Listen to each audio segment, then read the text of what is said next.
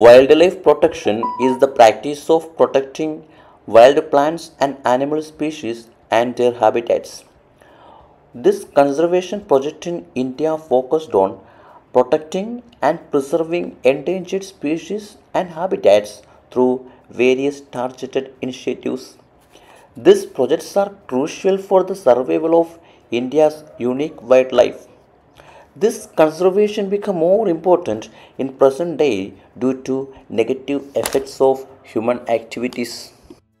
Wildlife Conservation Act 1972 is one of India's most significant environmental legislation aimed at conserving the country's rich and diverse wildlife. This act marked the turning point in country's approach to wildlife conservation. Let's move to some historical aspect of wildlife conservation. Historical perspective of wildlife laws and policies in India spanning to pre-colonial, colonial and post-colonial eras.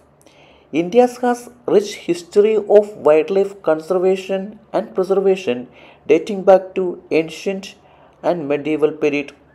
In Vedic period, the Aryans worshipped nature and praised the environment. The Ramayanas and Mahabharatas, the two ancient epics, emphasize the significance of animals in the society. Wildlife flourished under the Hindus and Muslim rulers, including Mauryas, Ashokas, Guptas, and Mughals. The rishis during ancient times were aware of the importance of wildlife. According to Manusmriti, dating back to 200 BC, protecting environment considered as a duty mentioned that it was the responsibility of a ruler or a king to ensure the wildlife protection. The Arthashastra by Kautilya or Chanakya recorded first legal provision relating to environment in ancient Mauryan period. Chandragupta Maurya and his Prime Minister Kautilya deals with the environmental protection, strictly laying down various rules and regulations for protecting the environment and upgrading ecology. They maintained zoological gardens, zoos, reserved forests where animals lived without human interference. The king Ashoka, widely considered as one of the most significant Indian ruler who made large contribution to wildlife and environmental conservation. In 3rd century BC, he introduced the fifth pillar edict, which was the first documented conservation laws in India. In Yajurveda and Vishnu Samhita, all emphasize the importance of peacefully coexisting with the animals. Wildlife also featured in Panchatantra and Buddhist Jataka tales. During Mughal period, spanning from 1526 to 1707, also had a deep appreciation for nature and great interest in wildlife. Hence, we can say that pre colonial India's legacy of wildlife conservation laid the foundation for modern wildlife policies and initiatives. India had a rich wildlife before the arrival of British, but their rule brought a decline in the population of wild animals due to demand of land. Result of large scale killing of wild animals including tigers, leopard, elephant hunted down without any regulation. In early 19th century, the rising ambition of East India Company to extend the colonial control over the forest territories led to appropriation of territories and the wildlife. Although British officials engaged in hunting and depletion of wildlife, there were some attempts to conserve the wildlife through various policies and legislation, even though it was not a priority to British rulers. The first legal statute of wild conservation only in 1887 that was the enactment of Wild Birds Protection Act in 1887. In 1912, British government passed Wild Bird and Animal Protection Act which was later amended in 1935. This 1912 Act became the first law to prohibit hunting wild animals and birds, with violators facing legal penalties. Indian Forest Act 1927 was enacted to consolidate the laws relating to the transit of forest produce and levy duties on timber. The main objective was to collect the revenues from these resources only. Madras Elephant Protection Act 1873 was the early attempt to formalize the wildlife protection. In 1904, Mary Curzon, wife of Lord Curzon, visited Kaziranga National Park, famous for the population of one-horned rhinoceros and took effective steps to increase the population of rhinos. In 1905, conservation of Asiatic lion in Gir forest under the jurisdiction of Nawab of Junagadh. He completely banned the hunting of lions in Gir forest and refused any hunting permit. In 1935, the first national park, Hailey National Park, was declared. This was remarkable in the history of wildlife conservation and its name changed as Corbett National Park after Jim Corbett who has done a lot of conservation work in this area. Post independence, first genuine need to protect the wildlife in India was realized. In 1952, Indian Wildlife Board was constituted to centralize all the rules and regulations of Wildlife Conservation of India and to advise the central government on various nature. Hence it act as the advisory body to central government. Under Section 5 of Wildlife Protection Act 1972, it replaced by a statutory board renamed as National Board for Wildlife. Let's move to some constitutional provision for the conservation of wildlife. Under Article 48A, Directive Principles of State Policy puts an obligation to state to protect, safeguard and work for the improvement of forest and wildlife in the country. Article 51AG says that it shall be a fundamental duty of every citizen to protect, improve the natural resources, forest and wildlife.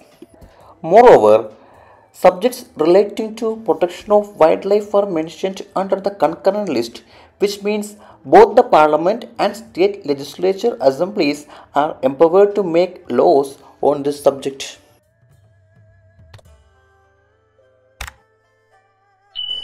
The Wildlife Protection Act of 1972 provides a legal framework for the protection of various species of wild animals and plants management of their habitats, regulation and control of trade in wild animals, plants, and products made from them.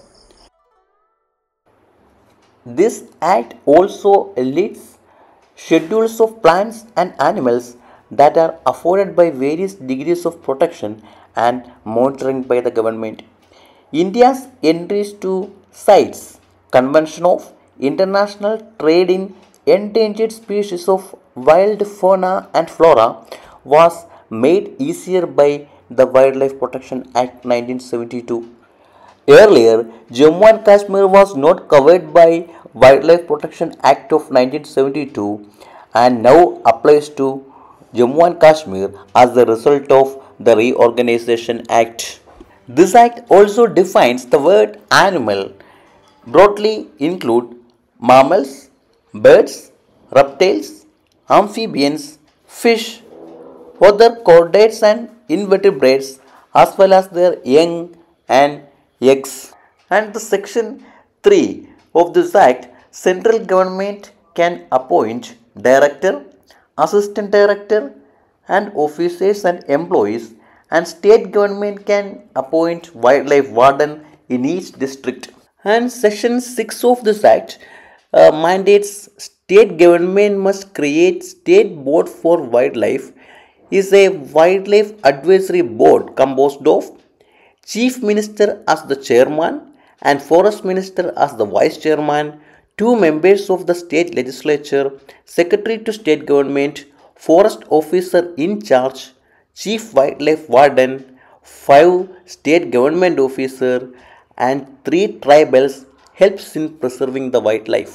And main duties of the state advisory boards are selection of areas as sanctuaries, national park and closed areas, formulation of policies, amendment of any schedules, harmonizing the need of tribals and dwellers. Section 6 of this act deals with prohibition of hunting, non-hunting except some necessary reasons dangerous to human life, human life standing crops, self-defense and government properties.